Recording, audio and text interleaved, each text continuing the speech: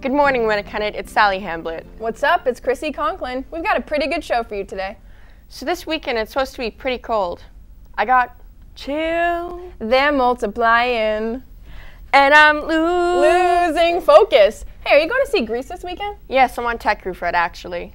Wow. Well, for those who don't know about the show, here's a story by Kristina Levinson and Hunter McKenzie.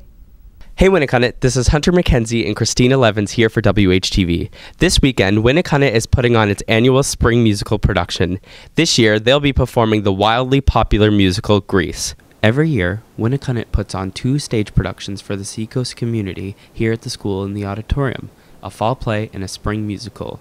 This year, the musical is Grease, the wildly popular show set in the 1950s. The show, which was originally a 1971 musical by Jim Jacobs and Warren Casey, follows the story of a group of working class teenagers as they navigate the complexities of love in high school. The show features musical numbers and a score that recreates an early rock and roll sound. Directed by Peter Tomes and musical supervision by Patrick Moore, the show is the 15th longest running show on Broadway um, the musical is um, set in the 1950s, and I know that the composers that wrote it, they, they wrote it as a reminiscence of their years in high school. So all of the songs are in the style of 1950s music. So it's all um, rhythm and blues, doo-wop music. Um, it's, just, it's just a tribute to that generation. It went on to become a hugely popular film starring John Travolta and Olivia Newton-John. This year, the iconic lead roles of Danny Zuko and Sandy Olson will be betrayed by Owen Thomas and Sarah Schwab. Hi, my name is Owen Thomas. I'm a senior and I'm playing Danny Zuko. He's one way with his friends and he's one completely different way with Sandy, who's played by Sarah Schwab, and he has sort of a secret love with her. Hi, my name is Sarah Schwab and I'm playing Sandy Dombrowski. And uh, Sandy is very shy and timid, but she's also very much in love with Danny. My name's Courtney Janvrin. I'm a senior this year, and I'm playing Miss Patty Simcox. I'm Eileen Weatherby for those who don't know.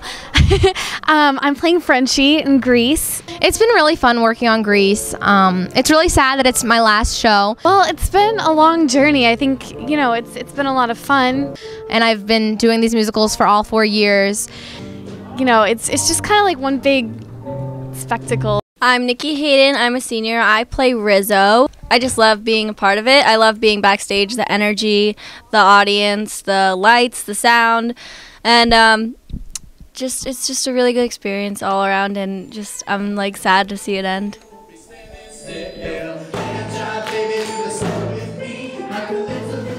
Other cast includes TJ Mason as Kenickie, Carrie Sears as Cha Cha, and Taya Stefanov as Jan. Behind the scenes, an entire crew of students help create the production with providing lighting, sound, run crew, set and production design, and prop and costume management, just to name a few, which is headed by Taylor Rogers. Popular song numbers like Summer Nights, Beauty School Dropout, Greased Lightning, You're the One That I Want, and much more will be featured in the show. So come on out to see Grease this weekend.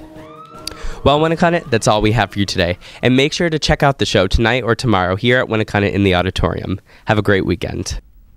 The musical looks like it will be amazing. Yes, it does, Sally. Are you okay, Chrissy? Oh, yeah. I'm just practicing my robot. Speaking of robots, did you go to the VEX robotic competition? No, I missed it. Well, don't worry. Ross Cohen and Ryan Welch have the story. Check it out. The Winnacunnet Robotics team is one of the many clubs and activities WHS has to offer. Ross and I took a look at the Seacoast Winter Classic, which was held in the Winnacunnet Gymnasium. Let's take a look.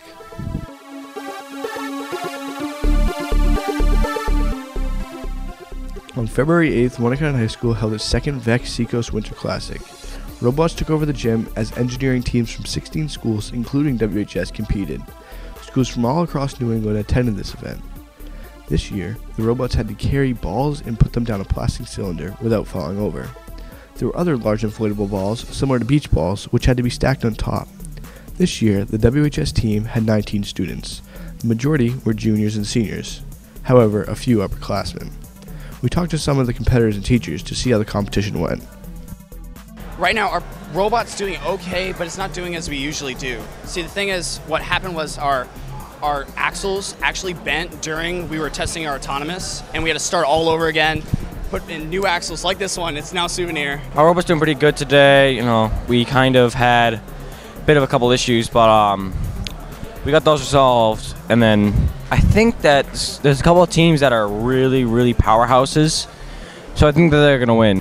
But um, we had to put in new axles, and we're still failing. We keep on getting stuck and broken and everything. But we're still getting points. We're still getting up there. We're right now in eighth place, but we're still having a lot of problems. Two of our teams hadn't had any wins yet, and there's only five matches. But um, my brother's doing well, and he's doing superb now, so I'm going to pull him in.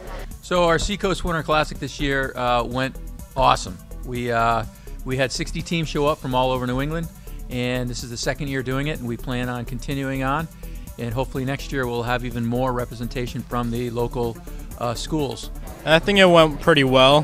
My team was in first place for quite a while and then ran into a bunch of issues. But you know, it tried. That's all we have for you today, Winnacunnet. Get your robots built for next year. Ross and I, vexing out. Wow, what an amazing club. I wish I could buy their robots to show my school spirit. Well, you can't buy their robots, but you could get your school swag by going to the Warrior Trading Post, our very own school store. Here's a quick glimpse on the new school apparel brought to you by Megan Lapointe and Alex Larson. Hey, what's up, Winnacunnet? It's Megan and Alex here. Today we got the inside scoop of the Warrior Trading Post new items. Check it out. Uh, some new items we have in the store.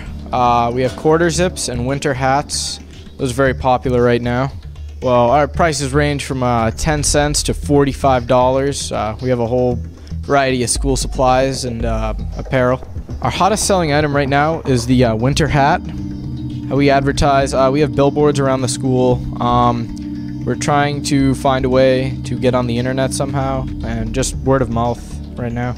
Uh, business is all right. Uh, not a lot during the school day, but when we open up for uh, special events like uh, Christmas sales and um, empty bowls and stuff like that, we have uh, we do pretty well. So.